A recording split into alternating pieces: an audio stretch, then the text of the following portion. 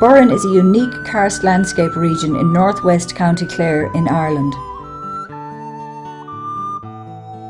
The region measures approximately 250 square kilometres and is enclosed roughly within the circle comprised by the villages of Ballyvaughan, Kinvara, Tubber, Corofin, Kilfenora and Lisdoonvarna.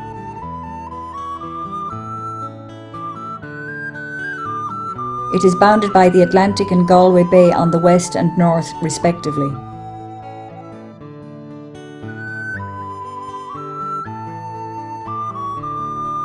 The rolling hills of Burren are composed of limestone pavements with criss-crossing cracks known as grikes, leaving isolated rocks called clints.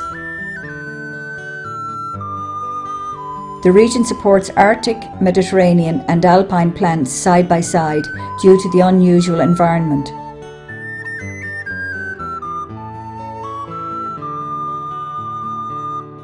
The blue flower of the spring gentian, an alpine plant, is used as a symbol for the area by the tourist board. The Burren's many limestone cliffs, particularly the sea cliffs near Fanore, are popular with rock climbers. For potholers, there are a number of charted caves in the area.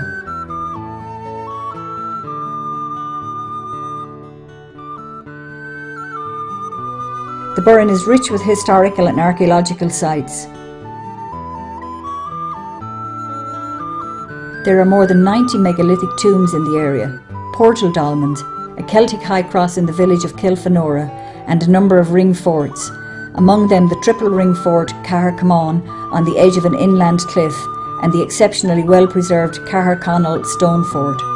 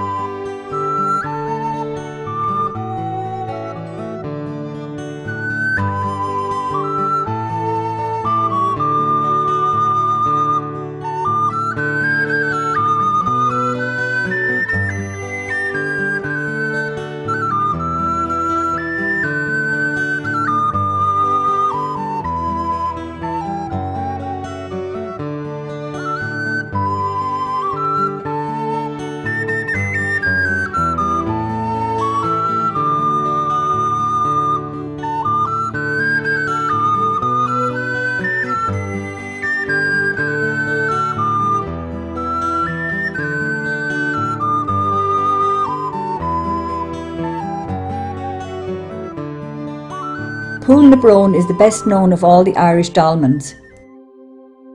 This dramatic site on the karstic limestone pavement of the Burren is one of the most famous Irish burial chambers. The name Poulnabrone literally means the hole of the sorrows. The thin capstone sits on two 1.8 metre high portal stones to create a chamber in a 9 metre low cairn. The eastern portal stone was replaced in 1985 following a discovery that it was unfortunately cracked. Excavations during the repair showed that this site dated back to about 2500 BC. Uncremated remains were found in the chamber, its portico and in the grikes, which are crevasses in the limestone floor. In particular, there were the main body bones of one newborn baby, six juveniles, and 16 to 22 adults. Only one of the adults lived beyond 40 years, and the majority were under 30 when they died.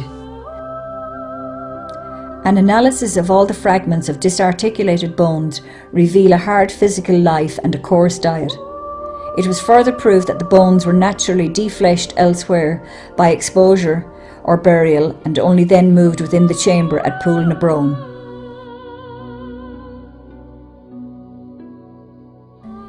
A number of grave goods were found in the tomb, including a polished stone axe, two stone disc beads, a perforated bone pendant, part of a bone pin, two quartz crystals, flint and sharp arrowheads, and scrapers, and over 60 shards of coarse pottery.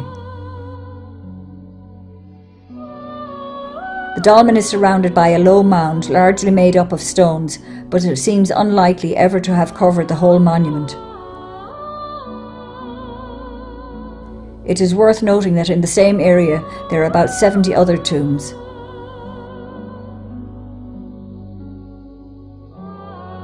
Carron Church served the largest parish in Clare until the 16th century. It was built around 1200, but some of what we see today, including the fine doorway in the south wall, dates from the 15th century.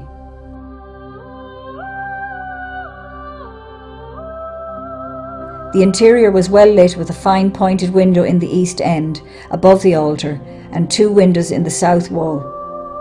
The battlements suggest the parish priest felt the need to defend himself.